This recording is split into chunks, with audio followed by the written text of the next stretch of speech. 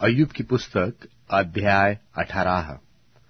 अयुब की पुस्तक अध्याय अठारह।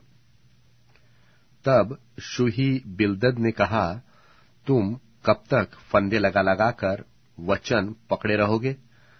चित लगाओ, तब हम बोलेंगे, हम लोग तुम्हारी दृष्टि में क्यों पशु के तुल्य समझे जाते और अशुद्ध ठहरे हैं?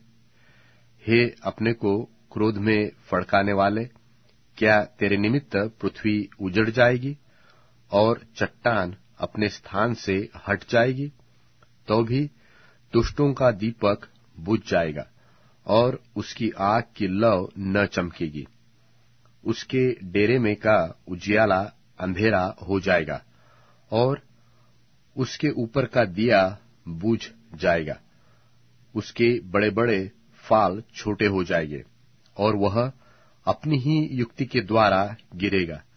वह अपना ही पाव जाल में फंसाएगा। वह फंदों पर चलता है। उसकी एड़ी फंदे में फंस जाएगी और वह जाल में पकड़ा जाएगा। फंदे की रस्सियाँ उसके लिए भूमि में और जाल रास्ते में छिपा दिया गया है और चारों ओर से डरावनी वस्तुएँ उसे डराएगी।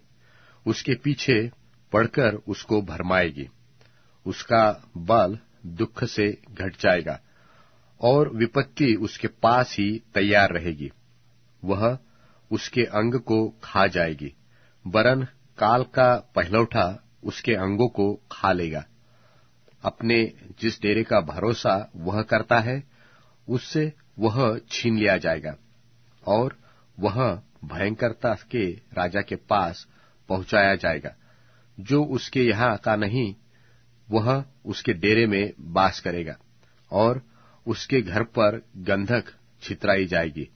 उसकी जड़ तो सूख जाएगी और डालियाँ कट जाएगी। पृथ्वी पर से उसका स्मरण मिट जाएगा और बाज़ार में उसका नाम कभी न सुन पड़ेगा। वह उजियाले से अंधियारे में ढकेल दिया जाएगा और जगत में से भी भगाया जाएगा। उसके कुटुंबियों में उसके कोई पुत्र पौत्र न रहेगा, और जहाँ वह रहता था, वहाँ कोई बचा न रहेगा।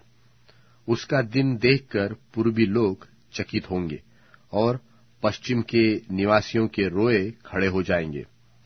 निसंदेह कुटिल लोगों के निवास ऐसे हो जाते हैं, और जिसको परमेश्वर का ज्ञान नहीं रहता उसका स्थान ऐसा ही हो जाता है।